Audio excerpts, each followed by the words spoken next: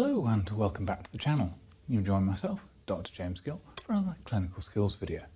Today we're going to do the deep dive on the cardiovascular examination. So we're going to go through each step, what we're looking for and why we're doing those particular tests. So to start off with our cardiovascular system, obviously we need to uh, gain consent. Hello, my name's Dr. Gill. I've been asked to do a cardiovascular uh, examination of yourself. Before we go any further, could we please confirm your name and date of birth? Thomas Alvey, 2nd January 2000. Thank you. So this is going to involve you lying back, letting us have a look at your hands, getting you to take off your shirt.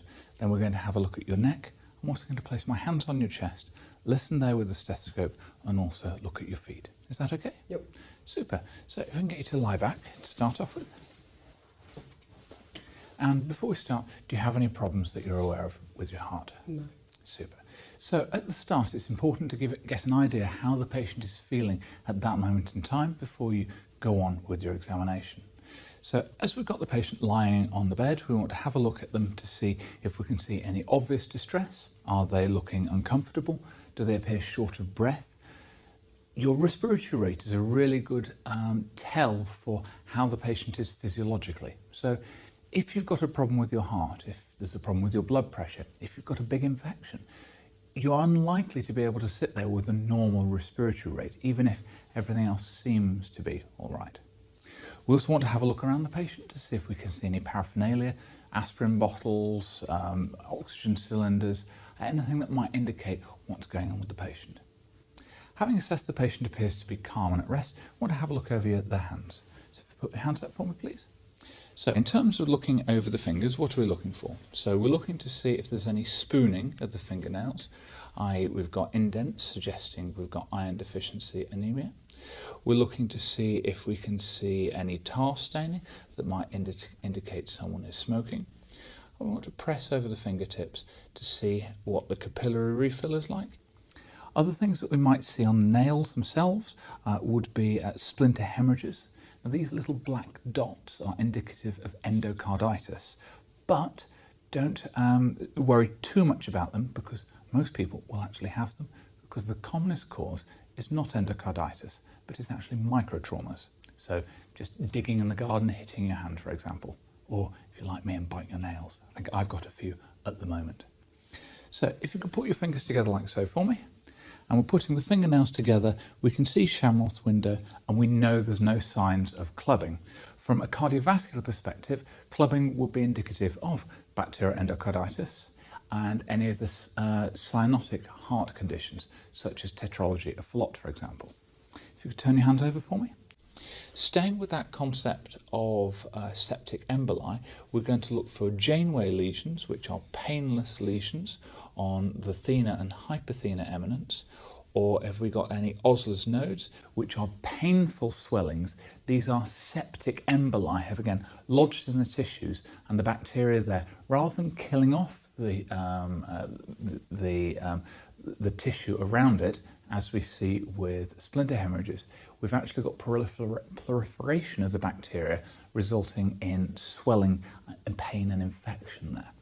Now here we can see a couple of spots on his fingers. Um, how long have these been there for? Uh, forever.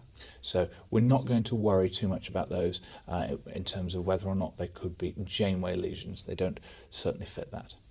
The other thing we're looking for on the hand is the, um, the, the, palmar creases. Uh, we can see we've got normal um, coloration to the palmar creases. If there was a pallor there, so the palmar creases look pale, it might indicate the presence of an anemia.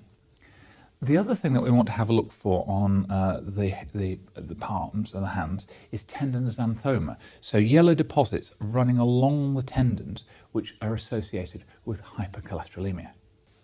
Having looked over the hands, we then want to check both um, pulses at the same time. Now, when we check the radial uh, pulse, we're checking for the rate and rhythm. So how fast is the pulse going and is it um, coming through regularly? So for example, one, two, one, two. Or is it irregular, so there's no pattern to the beat? If we find that, we want to get an ECG to clarify more information about the, um, what that rhythm is. Now I'm taking both hands at the same time because I'm feeling for a radial-radial delay. I want to feel both pulses coming through at the same time. We then need to move up the arm to check at the uh, antecubital fossa. Here we're checking for the brachial pulse. Now we want to check at this point because that's going to let us feel the character of the pulse. So is it a strong pulse? Is it a bounding pulse or a weak and thready pulse? So we may have a, a bounding pulse if we've got problems with the thyroid causing a, um, a hyperthyroidism, or if the patient, for example, has heart failure or maybe has had a myocardial infarction in the past, resulting in a weak pulse, we'd feel that here at the brachial pulse. Now we can't take that from the radial pulse because that's a smaller bore artery. We need to be going higher up. It is also possible to check for the character at the carotids, but in many patients I prefer to do that on the brachial because it's less um, uncomfortable for them. Similarly, there's a theoretical risk that if someone had um, plaques and issues with the carotid, you could potentially throw off a clot, but I think that's incredibly unlikely. Staying with the arm, we will need to have a look um, at the pulse in a different way, and we're going to check for a collapsing pulse. So, do you have any problems with your shoulder? So, I'm going to grip the patient's arm tightly, making sure that I can feel the uh, radial pulse. And I'm then going to lift the pulse up straight, and I want to see if the pulse is staying in the same place or does it feel like it's moving down the arm. What we're looking for there is if we have an aortic regurgitation, we're increasing the column of blood against that um, faulty valve, and that faulty valve prolapses backwards, meaning the pulse falls backwards down the hand. Now, there's something called a water hammer pulse. This is a kind of a Victorian toy. Um, and again, it feels like a pulse is changing in this small glass children's toy. That same sensation is what people describe um, the, the collapsing pulse as feeling like. But I've never really played with a water hammer, so I can't quite confirm what that is, uh, what that would feel like, but it's definitely something that if you end up in a Victorian toy shop to have a go with and see how it feels. Carrying on up the arm, so staying nice straight lines, we're going to have a look at the face. So if you could take your glasses off for me, and if you lean back, and I'm just going to lift your eyelids down and look up for me. And we're looking at the, um, the conjunctiva to see if there's any evidence of pallor, which might again go along with an, an anemia, suggesting maybe the heart is having to work harder. Now, if you could look down for me, and we're looking at the sclera, I can't see any yellow, uh, yellowing there. Now, there is some debate whether or not that should be included in a cardiovascular assessment. However, there's no such thing as never in medicine. You could get a hemolytic anemia, whereby the blood is being broken down, which would cause raised levels of bilirubin, would potentially affect the cardiovascular system, and we'd see that as a potential jaundice in the eyes. We also need to have a look around the eyes themselves. So we want to see if there's any evidence of uh, uh, xanthelasma, so cholesterol deposits uh, around the eyelids or underneath the eye.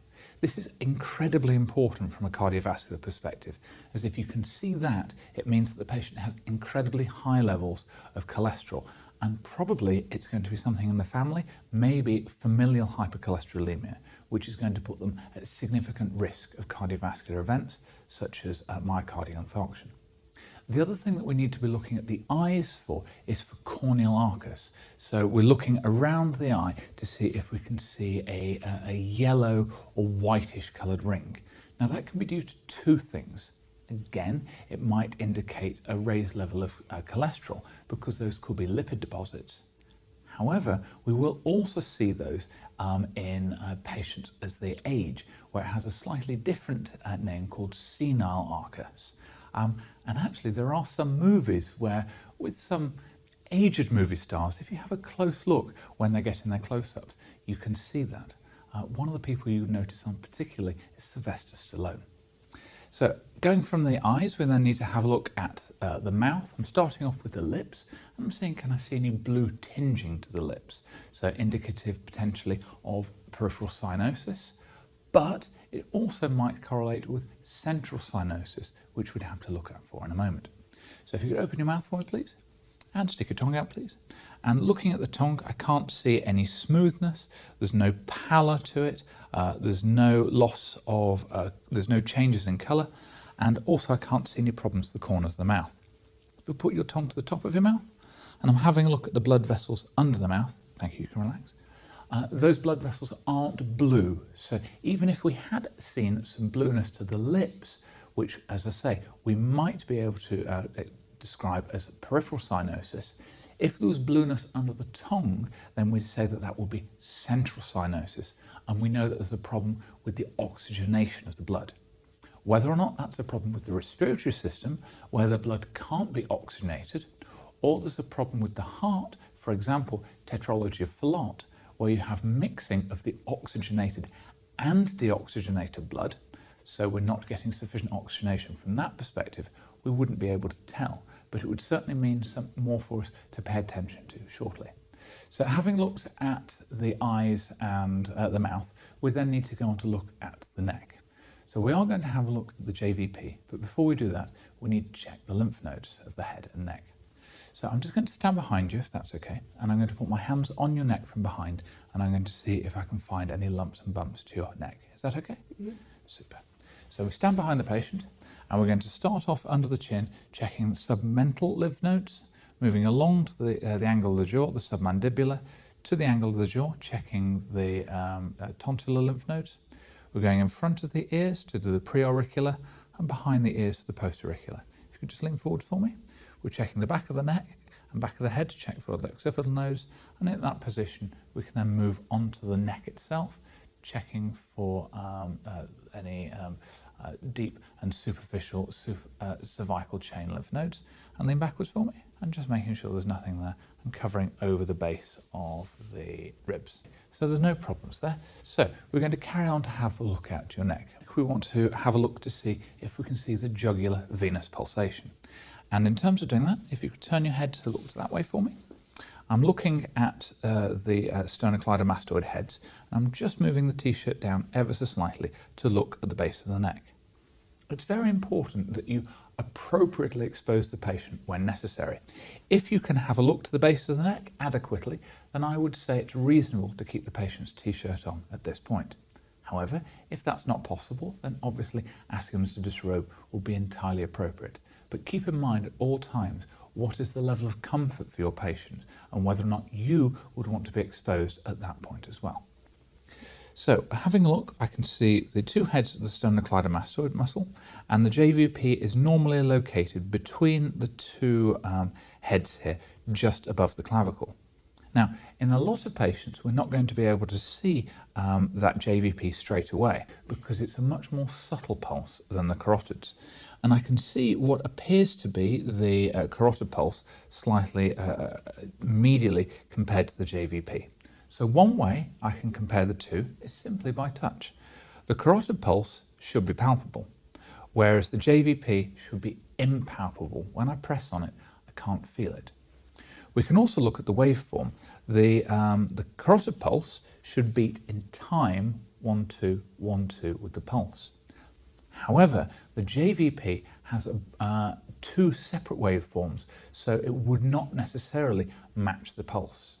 There is, however, one final way that we can confirm that, and that's with the hepatojugular reflux. For this, we will ask the patient to take their t-shirt off. So if you take your t-shirt off, please. I'll just put that down here for you. So, looking at uh, where we found the JVP, we want we draw an imaginary line from the manubrial sternal angle, which is in uh, which is in line with the second rib, vertically upwards, and we come across to see where we can feel that pulsation. As long as that is intersecting with this imaginary ruler at less than four to five centimetres, we know there isn't a problem. However, if we're having difficulty seeing it, as I said, we might want to do an additional test, and that's the hepatojugular reflux. So we look at the patient's abdomen, we see if we can see any evidence of scars, any evidence that there may have been an operation to this area. I, can't, I can see one small scar here, but nothing to worry me here. Do you have any pain to the upper abdomen? Brilliant. So what we're going to do, we get you to turn your head that way, and I'm going to push down into your stomach, and I'm going to watch uh, your neck as we do so. So one, two, three, in and up. And relax. And it's a quite short, short, sharp movement. And in doing that, that push, puts pressure on the liver, results in increased black backflow up through the vessels. So we're getting that blood going up the uh, JVP and we see that rise as well. So here it wasn't very easy to see the JVP, but by doing the hepatojugular reflux, we saw it rise up from where it was hiding just at the edge of the clavicle, and we know that everything is normal. However, if we did have a patient that had something causing increased pressure at the atrium, for example, um, they had pericarditis or hyperinflated lungs with COPD, or if they'd had a, an atrial myxoma, anything that's affecting uh, the uh, atrium there could result in the JVP having risen so high up we can't see it with the patient sat here. We might, if it's gone up inside the skull, see their earlobe waggling at the back. The other thing we could do to check in that situation is if you could sit forwards for me, and we're just going to lie you flat. So here we can see the JVP just pulsing away nicely at the base of the neck. And one of the other things that you can tell to confirm the JVP is that it will indraw when the patient has their first uh, uh, inspiration. So if you take a deep breath in for me, and relax. So we can see that JVP disappearing in as we breathe in. So here we can see the JVP pulsing away nicely at the base of the neck. And if we get the patient to take a deep breath in, we'll see the JVP indraw as we do so with the change in pressure around the chest. So take a deep breath in, please. And then relax. So that indrawing of breath has changed the pressure in the chest, particularly around the right atrium. So we've resulted in a reduction in pressure around the atrium, causing the JVP to be pulled back. Just to reiterate that once more, take another deep breath for me and then breathe normally. So, and after having seen that JVP, we're just going to sit you back up again. Okay. Having looked at the neck then, we need to come back down thinking about pressures to check our blood pressure. So we're going to take our manual sphyg and we want to check that it's the right size for the patient.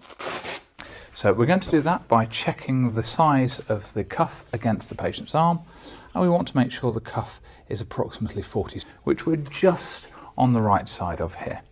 It's very important that our cuff is not too small because that will cause a falsely elevated blood pressure. So for example, if you have a patient with a large BMI, if you're using pulse a, a, blood pressure cuff which is too small, you'll falsely read their blood pressure. So it's vitally important for accurate medicine to make sure we're using the correct information, uh, the correct kit.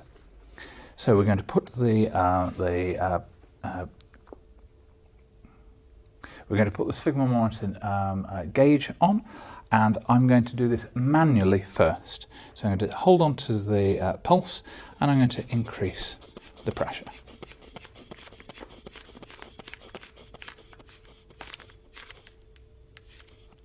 Okay, and the pulse has disappeared at about 100 beats, uh, 100 uh, millimeters mercury. Now the reason why we need to do it twice, first uh, manually and then with the uh, stethoscope, is because it's possible in uh, some patients, normally the elderly, about 20% of patients will have what's called a, a systolic uh, uh, blood pressure lag.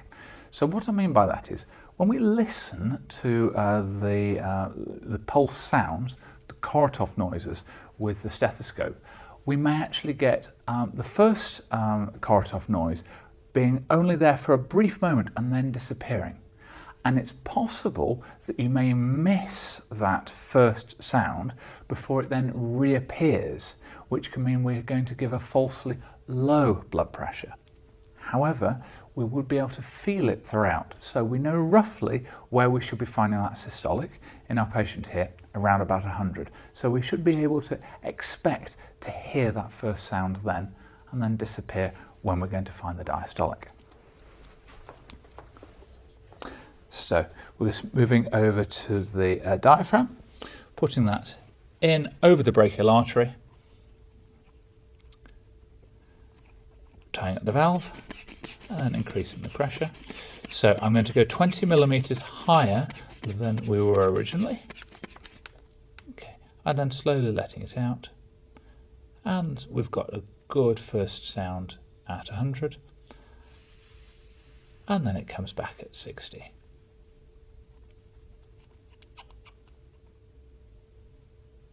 And then it disappears at 60. So we're quite happy with that uh, blood pressure.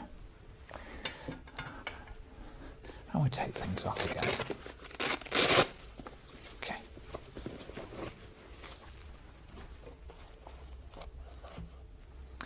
Having done our uh, uh, basic uh, start to the cardiovascular assessment, we then need to focus onto the chest. So the first thing we want to do is find the apex beat. So the apex beat is the uh, most lateral position of the heart within inside the chest, where essentially the, the, the apex of the heart will touch against the chest wall. And in young or thin patients, you may be actually be able to see this location. So possibly I can see a small movement of the skin um, over here, but we need to confirm we're looking in the right place. And the way that we do that is we find the manubrial sternal angle. So uh, this is the interface between the sternum and the manubrium, and that lines up with the second rib. So we then want to count down to the fifth intercostal space.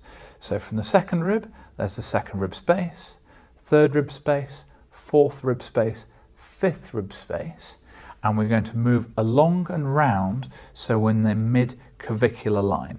And I'm going to place the flat of our hand over that. And I can feel the apex beat exactly where I thought I could see it and where I can feel it with my fingers. Now we may have a patient who perhaps has a smaller heart. Maybe they've got an increased body habitus and we can't feel it here. In which case we get the patient to roll over onto their left side and come back for me. In doing so, that causes the heart to move over in the chest, hopefully coming closer to the wall so we can feel that impulse there. Now the reason why that's important is we may find that the, um, the apex beat has shifted from that fifth intercostal space mid-clavicular line. That can happen, for example, in left ventricular hypertrophy. There are other conditions, so for example with cardiomyopathies, where we may get a baggy heart um, and that may change the apex beat to a much more diffuse character. So it's less easily to determine exactly where it is, as opposed to the nice tap against the um, chest wall there. Carrying on with our palpation, because our standard approach would be inspection, palpation, percussion and auscultation, we want to place our hands flat on the patient's chest wall. So I'm going to put the um, flat of my hand across the left side of uh, the chest and I'm trying to feel if my heart, hand is pushed off the chest wall, which would be indicative of a cardiac heave again associated with left ventricular hypertrophy, the large size of the heart literally moving the chest wall forwards. We want to do similar, and you can place your hands either side of the sternum, um, and there I'm feeling for a thrill, which is a palpable murmur. So when we do find a murmur using our stethoscope, we need to be able to grade it. Zero being it's only detectable by the most esteemed physicians and professors, all the way up to grade six. Not only is it audible outside the patient's chest, but it can be felt as well. Um, and an example of that might be the click of a metallic valve, or potentially an incredibly serious aortic stenosis with that coarse jet of uh, blood.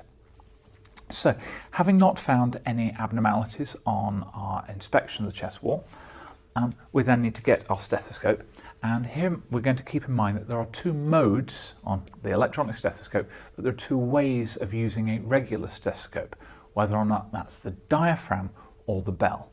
We're going to start off with the diaphragm first, listening over the four regions of the heart. The reason why we start with the diaphragm is it's going to attenuate most sounds. So whilst we're uh, doing that, I'm going to hold the pulse at the same time and I'm listening over the aortic region, which is over uh, the second intercostal space um, uh, to the right sternal edge, then over the pulmonary region, which is second intercostal space, left pulmonary edge.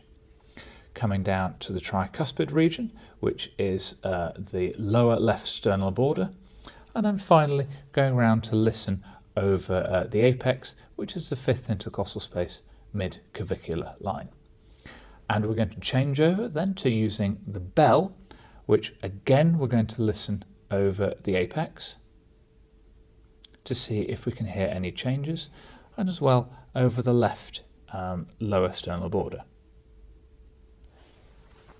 So the reason why we need to change um, what we're what we're using in terms of using the uh, the bell, because that allows us to pick up much lower frequency sounds. With the diaphragm, the large size of it means that all sounds are collected and amplified by the, the very thin membrane of the diaphragm. But that will mean that um, low frequency sounds are lost in that somewhat. By comparison, when we move over to the bell, the low frequency sounds are collected by the concave nature of the bell, so are amplified over the higher frequency sounds. So it allows us to be able to hear something such as mitral stenosis more easily. So when we're listening for the heart sounds, we need to listen for S1, the first heart sound, and S2, the second heart sound. Now, the first heart sound is caused by the mitral and tricuspid valve closing and the aortic pulmonary valve opening. Conversely, the second is the inverse, the mitral and tricuspid opening and the aortic and pulmonary closing.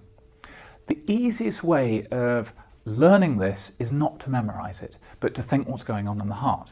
So S1, the start of the cardiac cycle, is the ventricles squeezing together in order to do that, we've got to close the mitral and tricuspid valve, otherwise blood's going to go the wrong way, and we want to open the pulmonary and aortic valves to send blood to the lungs and the body.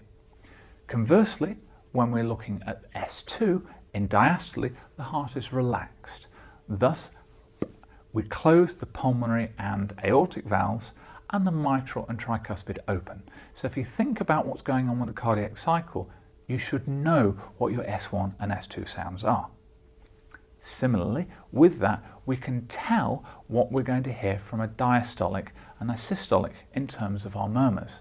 So our systolic murmurs are going to be aortic stenosis and mitral regurgitation, ASMR, because the in S1 the, the heart is contracting, so forcing blood out through the open aortic uh, valve. If there's narrowing, we're going to hear that aortic stenosis, bruit, so shooting that blood out. Conversely, at that point, the mitral valve should be closing to stop blood going um, out to the body, in which case we'd expect nothing to be there, but if there was, it would be the mitral valve regurgitating, so again, we have a systolic murmur there. Conversely, with our S2, where we're in diastole, the heart is relaxing. Now we're talking about aortic regurgitation and mitral stenosis, so arms. Here uh, we've got uh, the aortic valve falling back on itself, allowing blood to flow the wrong way. And we've got mitral stenosis, so a narrowing of that um, uh, heart valve, causing again a bruit or jet as that blood is forced through that narrowed opening. The other moment that we need to listen for, again going to the diaphragm, um, is the mitral uh, regurgitation. So here we're looking in the mid-axillary line, again holding the pulse, and we're just going to listen directly over here to see if we can hear a systolic murmur. There are, however, a couple of special manoeuvres that we need to do. So, putting the stethoscope back in, checking onto the pulse, onto the bell of the diaphragm, and if you could roll over to your left side for me. And we're listening again over the apex beat to see if we can hear the murmur of mitral stenosis. Okay, and if you could sit up for me. Now we're then going to listen for the murmur of aortic regurgitation. So again, I'm going to take the pulse and I'm going to listen to the lower left sternal border. Note that is not what we've previously described as the aortic region. We're going to take a deep breath in and breathing together, deep breath out and hold it. And breathe normally. So whilst you're in that position, ideally you want to hear one or two beats going through so you can get your ear in position. By having the patient breathing out as they're doing so, we're changing the pressures in the chest, worsening the regurgitation on the, uh, uh, the aortic valve, increasing the sound volume, partially because we've also got less lung in the way. The reason why we're listening in a different position is the um, auscultation sites do not align with the heart valves, they align with the movement of uh, um, blood. So it's the direction in which the sound will be travelling. And for aortic regurgitation, it's travelling in the opposite direction to that which we'd be looking at for aortic stenosis. Hence, we're listening to the opposite part of the chest. Now, there's another special test that we need to do for aortic stenosis. So again, taking the pulse, if you could turn your head that way for me, and we're going to place, place the um, stethoscope on the patient's throat lightly, get them to take a deep breath in, and hold it, and breathe normally for me. And we're listening for a couple of beats because here we're seeing if the aortic uh, stenosis bruit is travelling up the neck. So again, keeping in mind that bruits are to do with the flow of blood and the sound transmission, so we'll move in different directions. Having not had any abnormalities to uh, the chest, we then need to look at some of the other large vessels. So for that, we need to again lie the patient flat. With the patient lying flat, we then need to confirm again, do you have any pain or uh, discomfort in your stomach? So we're going to check for uh, uh, any evidence of uh, a AAA, so an aortic abdominal aneurysm, and then we're going to listen to see if we can find evidence of renal bruits. So we're just going to press down over the stomach, either side of the umbilicus, and I'm pressing quite hard because the um, aorta is a retroperitoneal organ, and I can feel the pulse coming through my hands, but it's not an expansile pulse, it's not pushing my hands away. We're then going to take the stethoscope, again with the diaphragm. Uh, we're going to listen just uh, over the um, umbilicus. Okay, and I can't hear any evidence of bruits here. And then we're going to listen uh, laterally by about two, three centimetres and superior. Again, here we're trying to uh, find any evidence of bruits that might indicate uh, renal um, aneurysms, renal artery aneurysms. And again, on the opposite side. So there's no problems at that point. So we, we also need to check for radial femoral delay. So if you can just pull the top of your trousers down for me. Okay, and we're going to hold on to the radial pulse and we're going to feel over the femoral pulse at the top of the leg. And again, I can feel that the pulse is coming through at my fingers and on the uh, femoral pulse at the same time. We're going to do the same to the opposite side. And again, I've confirmed that we've got an intact uh, pulse there, so we've got no areas to, of concern there. So pull your trousers up for me. Moving down the bed, we want to have a look at uh, the legs. So we're seeing if there's any evidence of uh, peripheral edema. So we're going to press with three fingers for 10 seconds. And then we're going to have a look, and I can't see any imprints at all, suggesting there's no peripheral edema. And again, there's none here. We can also assess uh, the feet for the same features that we'd look for um, in uh, the hands given that it's the same tissue, so we're likely to get a duplication of anything there. As well as having looked visually over the feet, we need to check for the peripheral vasculature. So we're going to press in to uh, the medial malleoli and we're trying to find the posterior tibial pulse. The easiest way to find that is starting off over the medial malleoli and just dropping back into the dip behind it. And then we're going to bring our uh, hands round and we're going to check for uh, the dorsalis pedis and we're going to press just uh, lateral to uh, the extensor tendon on the second toe and we should be able to feel uh, the um, dorsalis pedis pulse coming through nice and strongly there. And we can go one step further just to confirm our capillary refill which is under two seconds on both feet. To complete our examination, if I could just get you to sit up please. And we're going to have a quick listen to the patient's chest. So if you cross your arms over your chest please. And if you take a deep breath in for me, and out in and out. Deep breath in and out. Deep breath in and out. Deep breath in and out. And in and out. And in and out and out. So we're listening all the way down to the lung bases to hear if we can see any evidence of pulmonary edema which we might associate with heart failure. Similarly, in the same way that we've looked at the feet, we're going to press to the base of the back to see if there's any evidence of sacral edema, pressing with the three fingers with 10 millimeters of mercury, which we can determine because the fingertips will have gone white with pressure, and again, there's no indent here. So we uh, thank the patient, provide them with their shirt back, and do you have any questions for myself at this moment? No. Super. So thank you. So that completes our cardiovascular examination. Um, we've gone through all the steps uh, that um, are required for a standard medical school OSCE. There are additional information that you can find checking the video here on more um, detail for the cardiac murmurs if that's something that's of interest to you.